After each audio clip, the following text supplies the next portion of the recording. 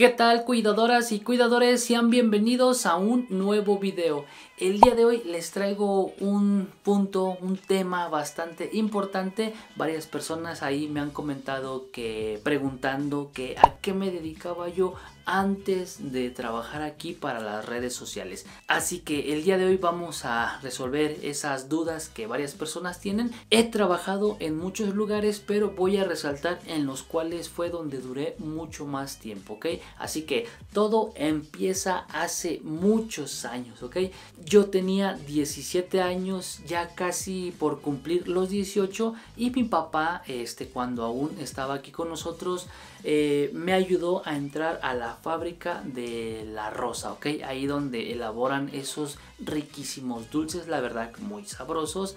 Este, entré a trabajar ahí, como todos, empezamos desde abajo y la verdad es que me agradó mucho el trabajo ahí. Yo era prácticamente un niño, todas las personas que trabajaban ahí este, ya eran muy mayores, ya eran mucho más grandes que yo, yo era ahora sí que el pollito entre toda la gente y la verdad no conocía muchas cosas porque era mi primera empresa en donde laboré.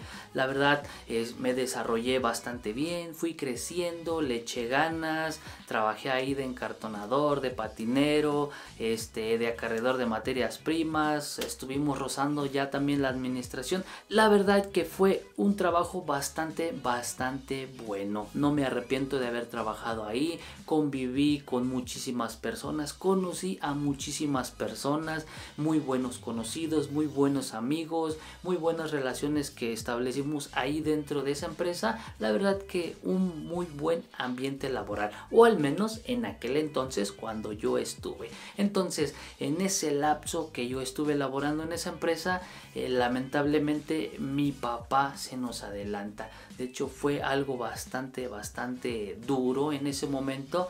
Eh, para entonces yo no tenía la planta, se le conoce ahí, para que no te corran de la empresa y estaban a puntito de hacer recorte de personal para las personas que no tienen la planta y yo estaba involucrada ahí.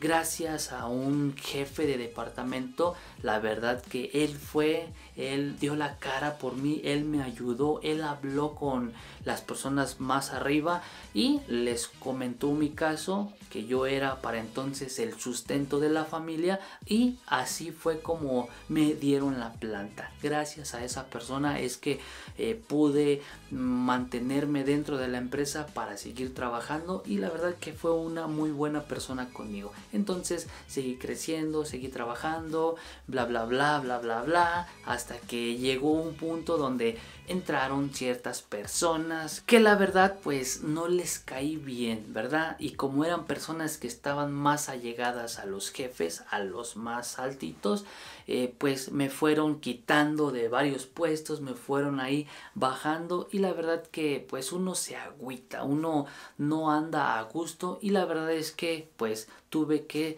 separarme de esa empresa. Yo traté de acomodarme en algún otro lado, pero no me dejaron. Ellos querían a fuerzas tenerme ahí y la verdad es que yo ya no estaba trabajando a gusto. Así que pues mi relación laboral con esa empresa se terminó. Yo salí de esa empresa y no tardé mucho, si acaso un fin de semana, cuando entré al vivero. Así es, fue bastante grandioso ya que saliendo pasaron dos tres días y ya estaba trabajando en el vivero y ahí también duré trabajando cuatro años poco más de cuatro años la verdad que ahí aprendí conocí todo lo de las plantas, todo lo que a ustedes ahorita se los estoy brindando, ahí yo lo fui aprendiendo. Recalco, aprendiendo porque nadie me enseñó. No hay nadie que me haya enseñado todo lo que yo aprendí, porque la verdad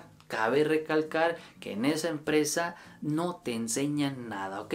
Ya tocamos ese tema en otro video, aquí abajo te lo voy a dejar para que vayas y escuches la historia de cómo es esa empresa, ¿ok? Así que no nos vamos a alargar, pero entré a trabajar ahí y la verdad es que eh, fui desarrollándome también, fui creciendo, entré como todos, este, cargando, descargando, acomodando, limpiando, hasta que fui creciendo que ha encargado de sucursal y la verdad es que ahí me fue bastante bien ya que tenía contacto con clientes, eh, platicaba con ellos, ellos me fueron dando unos tips, yo fui este, aprendiendo por mi cuenta dentro del invernadero cosas nuevas con las plantas, fui experimentando y la verdad es que fue algo grandioso, la verdad es que no me arrepiento de haber trabajado ahí, fue un gusto haber trabajado ahí, pero de nuevo empiezan los problemas, ¿verdad? Este llegó un punto en el cual eh, ya no me querían tener ahí dentro de esa empresa, así que también tuve que salirme de ahí. Estas dos empresas, la verdad es que es una historia mucho más larga. Si te gustaría escucharlas, déjamelo aquí abajo en los comentarios y hablamos todo a detalle, todo lo que pasó, porque no queremos alargar tanto este video, ¿ok? Así que también este, tuve que separarme de esa empresa, de ese vivero. La verdad que les agradezco por haberme brindado tantos años ahí este trabajo. La verdad es que la pasé bastante bien. También conocí a muchísimas personas al principio, porque después este a donde me mandaron prácticamente era yo solo. Así que hay una historia muy grande ahí. Si te gustaría escucharla, ya sabes que me lo puedes dejar aquí abajo en los comentarios y hacemos un mega video de cómo es que fue mi relación laboral en ese vivero y también en la fábrica de la rosa. Entonces nos salimos de este del vivero y entramos a una empresa que es una cadena comercial donde este son tienditas, ¿ok?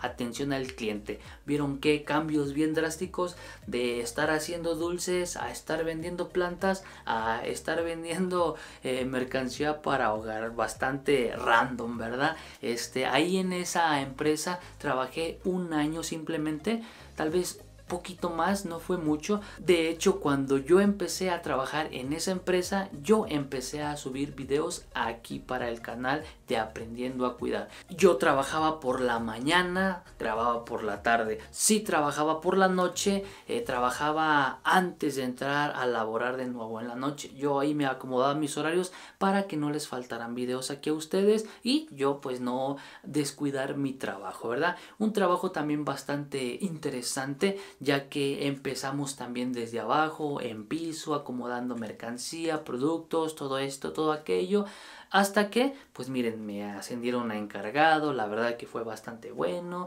más responsabilidades, más trabajo, la verdad bastante bueno, ya que a mí siempre me ha gustado trabajar. Y después, pues me ascendieron un poquito más, ¿verdad? Ahí a encargado, a líder de, de esas tiendas. La verdad que la pasé bastante, bastante bien. También conocí a muchísimas personas. Era un ambiente laboral bueno al principio, pero después se vuelve un tanto tóxico, ya que es algo complicado. No todos pensamos igual, no todos traemos la mentalidad de elaborar adecuadamente, entonces ahí como que empiezas a chocar, ¿verdad? Y obviamente es claro que no vas a pensar igual que otra persona, pero pues si se trata de trabajo se supone que vas a trabajar, pero pues ahí empezaron varios problemillas. De nuevo, también hay una historia muy grande atrás de esta empresa. Recuerda, si quieres conocer mucho más a fondo todo esto, házmelo saber aquí abajo en los comentarios y le hacemos un video a cada empresa ya que son puntos delicados, son puntos muy fuertes, importantes, que ahí han estado aguardadas. Nadie lo sabe más que mi familia, así que sin ningún problema yo se los cuento a ustedes. Así que estas son las tres empresas en las cuales fue donde yo duré más tiempo.